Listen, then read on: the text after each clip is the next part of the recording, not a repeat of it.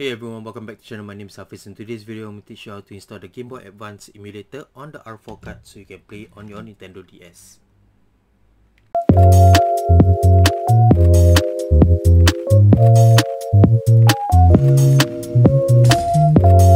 If you are new to the channel, do consider giving this video a thumbs up and subscribe to the channel for more video like this. The Game Boy Advance is one of my favorite gaming console. The GBA have some of the best game library from various genres. In 2004, 4 years after the Game Boy Advance was launched, Nintendo released the Nintendo DS, which was still compatible to play the Game Boy Advance cartridges. It has a much better screen as compared to Game Boy Advance and due to its design, they are much more comfortable to play on. In 2006, Nintendo released a revised version of the Nintendo DS called the Nintendo DS Lite. The DS Lite is a smaller version of the DS and still is able to play physical Game Boy cartridges and in my opinion has one of the best screen of that time. This was also the last model that was released to be compatible with the Game Boy Advance cartridges.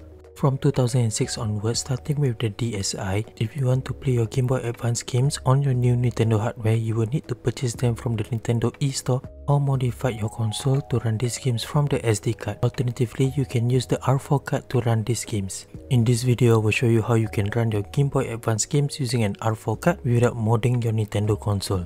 This method will work for DSi, 2DS, 3DS, new 3DS and it will also work for the DS and DS Lite as an alternative to run Game Boy Advance games using the DS card slot.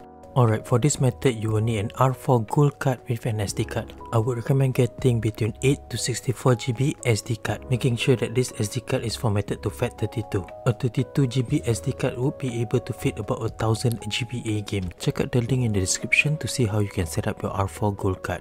We also managed to debunk the myth about the time bomb on the R4 card. Alright, use the first link in the description to download the R4 GBA for NDS. This will be in zip format so you will need to unzip it using 7-zip or WinRAR.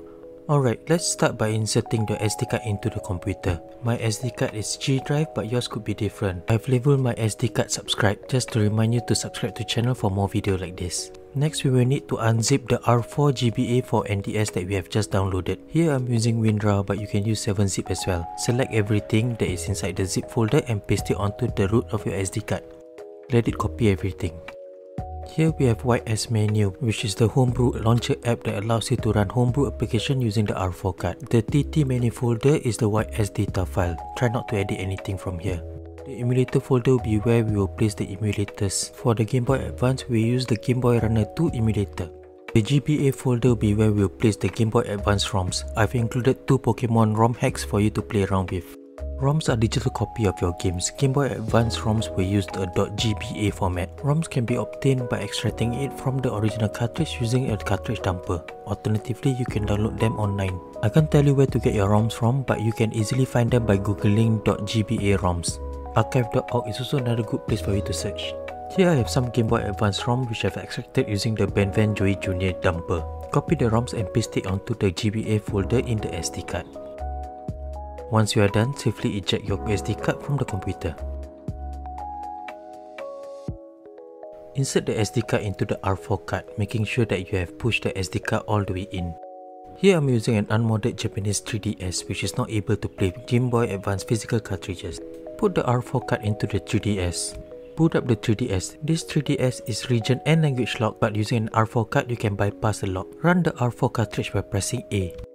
The R4 menu will load. Next, enter the game section by pressing A. Scroll to YS menu and press A to load. Now that we are in YS menu, scroll to emulator and press A. Select the GBA Runner 2 to load the Game Boy Advance emulator. Give it some time to load, the emulator will scan the SD card for Game Boy Advance ROMs. Next, select the game that you want to play, press A to load the game. Let's run my favorite Game Boy Advance game, Metroid Zero Mission, which was released in 2004. The game runs smoothly and the sound is in sync.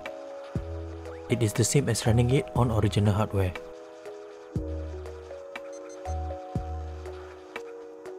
Let's take a look at the emulation setting and configuration. Tap the bottom screen to activate the emulation menu. Now press the R trigger to open up the setting menu. Here you can toggle the emulation setting, display setting and control setting accordingly. Once you are done making the changes, always restart your emulator. To load a new game, select Quit to ROM's browser. Select the game that you want to play and press A to load the game. Let's load the Gunstar superhero which was released in 2005. This is the sequel to the Gunstar Heroes which was released on the Mega Drive and Game Gear in the early 90s.